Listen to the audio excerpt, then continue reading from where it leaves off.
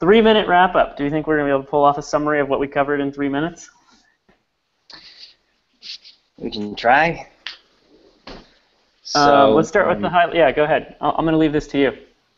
All right. Um, so, uh, so base paradigm is the way that I'm trying to make a difference in the world, technologically speaking. Um, and uh, it is um, a large distributed data structure, which uh, empowers individuals um, and makes it possible for you to do the things that you need to do every day um, without giving away more than well, without giving away anything, really, um, because you shouldn't have to. Uh, you shouldn't have to click through terms of service and you know, uh, and and use you know spotty, you know, questionable uh, um, connectivity options in order to just you know do your daily work.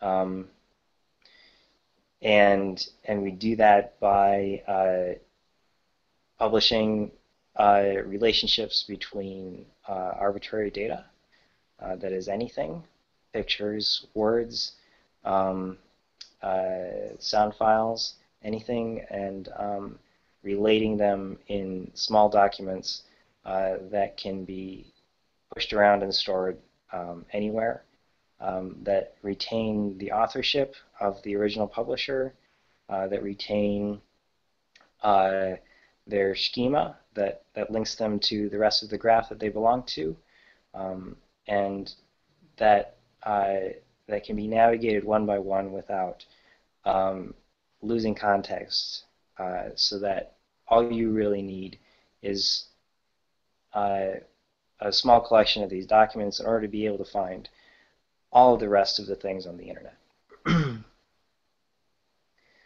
Uh, and this is this is the way that I see to um, make the the internet a safer place to uh, navigate and um, and uh, build out services in the future that uh, that don't don't hurt the users, don't provide this slippery slope for users to lose control. Perfect. Travis, thank you so much, sir.